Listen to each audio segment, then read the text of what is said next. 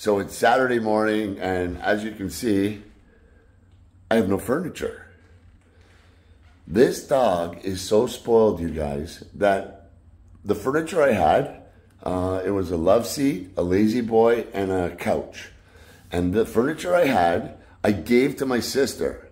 And I gave it to my sister so that Pal could sit on a sectional in front of the window and be able to see out the window.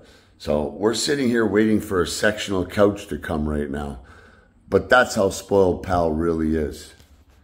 The furniture I gave my sister is three years old. You're a spoiled, rotten mutt, dog. Yeah, I'm talking to you, man. Eh, smiling at me. Eh, funny guy you are. Making sure they're doing a good job with your new couch. Are you? Hey, we got to get something straight right now. That's my spot. You got to move down further to the end. That's going to be my spot, not your spot. All right? Is that a deal? Give me five. Good boy.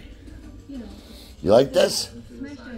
Are you okay with this, Your Highness? So, yes, hopefully he hits it low. Hey, Hits the right side of the hey, fairway. don't get too comfortable there, man. I'm telling you right now, that's my spot. Hey, pal, pal, you're not even looking at me, man. You're done, eh? Good.